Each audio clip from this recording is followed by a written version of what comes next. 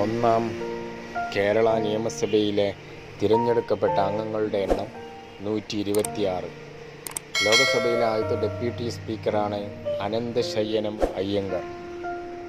കേരളത്തിലെ കലോത്സവങ്ങൾ ആരംഭിക്കുന്നത് ഏത് വള്ളംകളിയാണ്? കേരളത്തിൽ ജലോത്സവങ്ങൾ ആരംഭിക്കുന്നത് ചമ്പക്കുളം വള്ളംകളിയാണ്.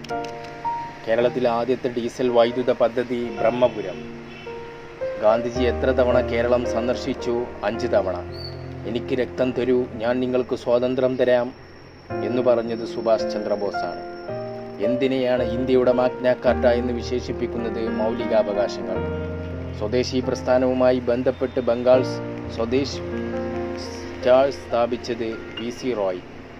ലോഹങ്ങളെക്കുറിച്ചും അവയുടെ ശുദ്ധീകരണത്തെക്കുറിച്ചും പഠിക്കുന്ന ശാസ്ത്രശാഖയാണ് മെറ്റലർജി.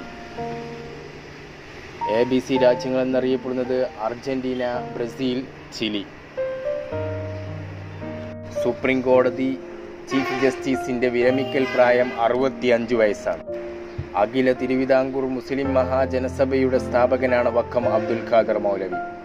കേരളത്തിൽ ഏറ്റവും ഉയരം കൂടിയ കൊടുമുടിയാണ് ആനമുടി. വിശുദ്ധിയുടെ കവിത എന്ന് വിശേഷിപ്പിക്കപ്പെടുന്നത് ആരുടെ കവിതകളാണ്? ബാലാമണിയമ്മ. മിറാഷ് എന്ന യുദ്ധവിമാനം ഇന്ത്യ വാങ്ങിയത് ഏത് രാജ്യത്തു നിന്നാണ്? ഫ്രാൻസിൽ നിന്ന്. കേരള ടാഗോർ എന്നറിയപ്പെടുന്നത് വള്ളത്തോൾ നാരായണ മേനോനാണ് ശുദ്ധ മലയാളത്തിൽ രചിച്ച ആദ്യത്തെ മഹാകാവ്യമാണ് കൃഷ്ണഗാഥ. ചട്ടമ്പി സ്വാമികൾ ജനിച്ച വർഷം ആയിരത്തി എണ്ണൂറ്റി അമ്പത്തി മൂന്നാണ് ഏറ്റവും നീളം കൂടിയ ഹിമാലയൻ നദിയാണ് ഗംഗ. ദൈവത്തോടുള്ള അമിത ഭയമാണ് തിയോഫോബിയ. ആരവല്ലി പർവതനിര പ്രദേശത്ത് സ്ഥിതി ചെയ്യുന്ന സുഖവാസ കേന്ദ്രമാണ് മൗണ്ട് അബു. സ്റ്റാമ്പിൽ പേര് ചേർക്കാത്ത രാജ്യമാണ് ഇംഗ്ലണ്ട്. തിരുവനന്തപുരത്ത് വാനനിരീക്ഷണ കേന്ദ്രം സ്ഥാപിച്ച രാജാവിന്റെ പേരാണ് സ്വാതി തിരുനാൾ. കേരളത്തിലെ ആദ്യത്തെ നിശബ്ദ സിനിമയാണ് വിഗതകുമാരൻ. വൈറസുകളെ കുറിച്ചുള്ള ശാസ്ത്രീയ പഠനമാണ് വൈറോളജി. ശ്രീബുദ്ധന് സമാധിയായ സ്ഥലം കുശിനഗരം ബി സി നാനൂറ്റി എൺപത്തി മൂന്ന് ഇന്ത്യയിലെ ആധുനിക വ്യവസായത്തിന്റെ പിതാവ് എന്നറിയപ്പെടുന്നത് ജംഷഡ്ജി ടാറ്റയാണ് ജന്തുശാസ്ത്രത്തിന്റെ പിതാവാണ് അരിസ്റ്റോട്ടിൽ. ഓർക്കിഡുകളിലെ റാണി എന്നറിയപ്പെടുന്നത് കാറ്റ്ലിയ. ഏറ്റവും കൂടുതൽ തവണ മികച്ച നടനുള്ള ദേശീയ പുരസ്കാരം നേടിയ മലയാള നടനാണ് മമ്മൂട്ടി. അന്താരാഷ്ട്ര ചലച്ചിത്രോത്സവത്തിന് സ്ഥിരം വേദിയാണ് ഗോവ. മഹാഭാരത യുദ്ധം എത്ര ദിവസം നീണ്ടുനിന്നു പതിനെട്ട് ദിവസം. ഫ്രാൻസിന്റെ തലസ്ഥാനമാണ് പാരീസ്. മദർ തെരേസയോടുള്ള ആദര സൂചകമായി കേന്ദ്ര സർക്കാർ സ്റ്റാമ്പ് പുറത്തിറക്കിയത് രണ്ടായിരത്തി പതിനാറ് സെപ്റ്റംബർ നാലിനാണ്. കൊല്ലവർഷം ആരംഭിച്ചത് എ ഡി എണ്ണൂറ്റി ഇരുപത്തി അഞ്ച് ഫ്രഞ്ച് വിപ്ലവം നടന്നത് ആയിരത്തി എഴുന്നൂറ്റി എൺപത്തി ഒൻപത് അഷ്ടാംഗ ഹൃദയം എന്ന ഗ്രന്ഥത്തിന്റെ രചയിതാവാണ് വാഗ്ബടാനന്ദൻ തപാൽ സംവിധാനം നിലവിൽ വന്ന ആദ്യത്തെ രാജ്യം ഈജിപ്താണ്. അരങ്ങു കാണാത്ത നടൻ രചിച്ചത് തിക്കോടിയൻ. അദ്ദേഹത്തിന്റെ ആത്മകഥയാണത്. ആയിരത്തി തൊള്ളായിരത്തി എൺപത്തി ആറിൽ കാണപ്പെട്ട വാൽനക്ഷത്രമാണ് ഹാലിയുടെ വാൽനക്ഷത്രം. പണ്ട് കാലത്ത് കാർത്തിക പള്ളി എന്നറിയപ്പെടുന്നത് ബെറ്റിമിനി. പണ്ടുകാലത്ത് കാർത്തിക പള്ളി അറിയപ്പെട്ടിരുന്നത് ബെറ്റിമിനി എന്നാണ്. പിങ്ക് സിറ്റി എന്നറിയപ്പെടുന്നത് ജയ്പൂരാണ്. ഗുഹ സംബന്ധിച്ച ശാസ്ത്രീയ പഠനമാണ് പീലിയോളജി. വി ടി ഭട്ടതിരിപ്പാടിൻ യാചനയാത്ര നടത്തിയ വർഷം ആയിരത്തി തൊള്ളായിരത്തി മുപ്പത്തി ഒന്നാണ് ആൽക്കഹോൾ തെർമോമീറ്റർ ആരാണ് കണ്ടുപിടിച്ചത്? ഫാരൻഹീറ്റ്. ഇന്ത്യയിൽ രണ്ടാമത്തെ അണുപരീക്ഷണം ഓപ്പറേഷൻ ശക്തി നടത്തിയത് ആയിരത്തി തൊള്ളായിരത്തി തൊണ്ണൂറ്റിയെട്ട് മെയ് പതിനൊന്നിനും പതിമൂന്നിനുമാണ്. കേരളത്തിലെ ആദ്യത്തെ മലയാള മഹാകാവ്യമാണ് കൃഷ്ണഗാഥ. കേരളത്തിലെ ആദ്യത്തെ paper mill Punalur paper mill Sree Narayana Guru ആരെയാണ് ആയിരത്തി തൊള്ളായിരത്തി ഇരുപത്തിയഞ്ചിൽ പിൻഗാമിയായി നിർദ്ദേശിച്ചത്? ബോധാനന്ദ. പുതുതായി രൂപം കൊള്ളുന്ന എക്കൽ മണ്ണ് അറിയപ്പെടുന്നത് ഖാദർ എന്നാണ്. കേരളത്തിലെ ആദ്യത്തെ ആരോഗ്യ വകുപ്പ് മന്ത്രിയാണ് എ ആർ മേനോൻ.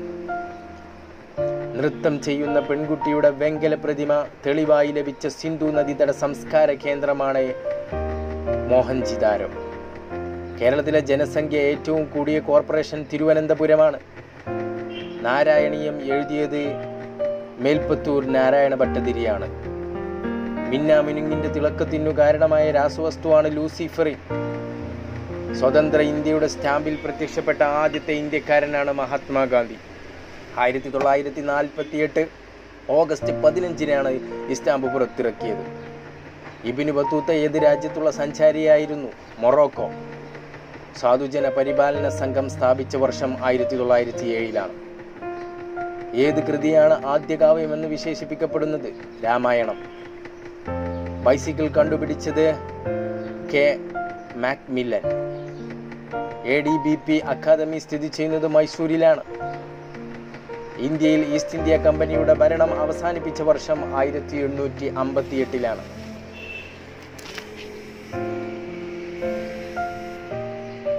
ഇന്ത്യൻ ഭരണഘടനയുടെ ആമുഖം എഴുതി തയ്യാറാക്കിയത് ജവഹർലാൽ നെഹ്റു ആണ് ചെടികളെ ചെറിയ രൂപത്തിൽ വളർത്തുന്ന കലയാണ് ബോൺസായി.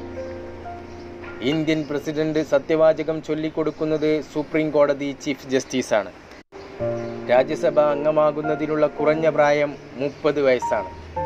രാജ രവിവർമ്മ അന്തരിച്ചത് ആയിരത്തി തൊള്ളായിരത്തി ആറിലാണ് ഇന്ത്യയിൽ ആദ്യമായി ജലനിരപ്പിൽ ഒഴുകുന്ന സോളാർ പാനലുകൾ സ്ഥാപിച്ചത് വൈദ്യുതി ഉൽപ്പാദിപ്പിക്കുന്ന അണക്കെട്ടാണ് ബാണാസുര സാഗർ അണക്കെട്ട്.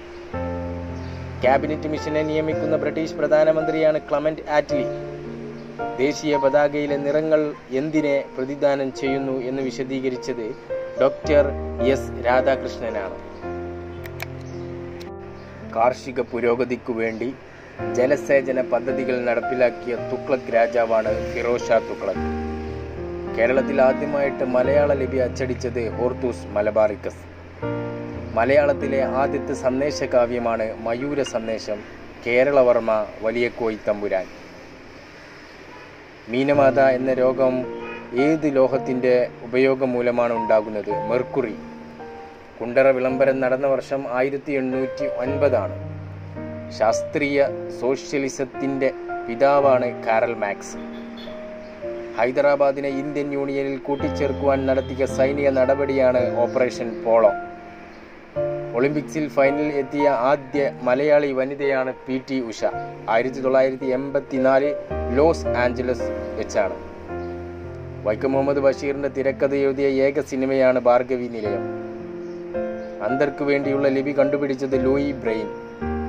ഫംഗസുകളെ കുറിച്ചുള്ള പഠനമാണ് മൈക്കോളജി. ഗ്രന്ഥികളെ കുറിച്ചുള്ള ശാസ്ത്രീയ പഠനമാണ് അഡിനോളജി.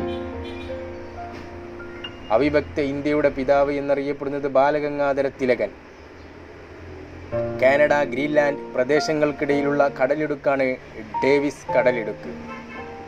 തിരുവനന്തപുരം ദൂരദർശൻ കേന്ദ്രം മലയാളം പരിപാടികൾ സംപ്രേഷണം ആരംഭിച്ചത് ആയിരത്തി തൊള്ളായിരത്തി എൺപത്തി അഞ്ചിലാണ് സുപ്രീം കോടതിയുടെ പിൻകോഡ് നൂറ്റിപ്പത്ത് ഇരുന്നൂറ്റി ഒന്ന് മാലി എന്ന തൂലിക നാമത്തിൽ അറിയപ്പെടുന്നത് മാധവൻ നായർ. വി. മാധവൻ നായർ. കായംകുളം താപനിലയത്തിന്റെ പുതിയ പേരാണ് Rajiv Gandhi combined cycle power plant. മത്സ്യബുക്കുകൾക്ക് ഏറ്റവും സമ്പന്നമായ മാംസ്യ സ്രോതസ്സാണ് സോയാബീൻ. കേരളത്തിലെ ആദ്യത്തെ ഇംഗ്ലീഷ് സ്കൂളാണ് മട്ടാഞ്ചേരി. അഖിലേന്ത്യാ ഖിലാഫത്ത് കമ്മിറ്റി രൂപം കൊണ്ടത് ആയിരത്തി തൊള്ളായിരത്തി പത്തൊമ്പതിലാണ്.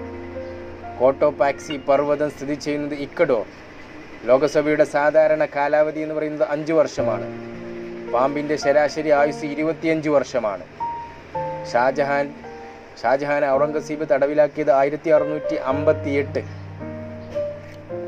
മുല്ലപ്പൂമ്പൊടി ഏറ്റുകിടക്കും കല്ലിനുമുണ്ടൊരു സൗരഭ്യം. ആരുടെ വരികളാണ്? കുഞ്ചൻ നമ്പ്യാർ.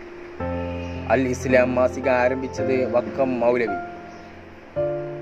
പാണ്ഡവാരിൽ മൂത്ത സഹോദരൻ ആണ് യുധിഷ്ഠിരൻ. ഏറ്റവും കൂടുതൽ സ്ഥലം വേണ്ട കായിക വിനോദമാണ് ഗോൾഫ്. മലബാറിൽ കർഷക സംഘം രൂപീകരിക്കാൻ പ്രചോദനം നൽകിയ നവോത്ഥാന നായകനാണ് വക് ബടാനന്ദൻ. കേരളത്തിലെ ഏറ്റവും വലിയ ജലവൈദ്യുത പദ്ധതി ഇടുക്കി.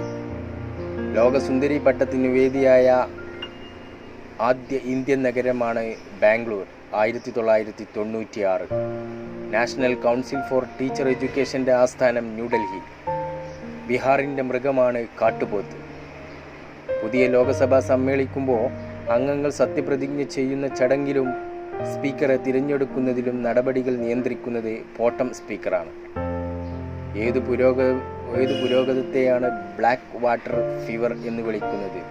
ഏത് രോഗത്തെയാണ് ബാക്ക് ബ്ലാക്ക് വാട്ടർ ഫീവർ എന്ന് വിളിക്കുന്നത് മലേറിയ?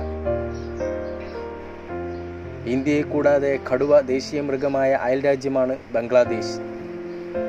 ലോകസഭാ സെക്രട്ടറി ജനറലിനെ നിയമിക്കുന്നത് സ്പീക്കറാണ്. വിഷാദചരിതം രചിച്ചത് ശ്രീ ഹർഷൻ. സ്വദേശാഭിമാനി രാമകൃഷ്ണ പിള്ളയെ നാട് കടത്തിയത് ആയിരത്തി തൊള്ളായിരത്തി പത്തിലാണ്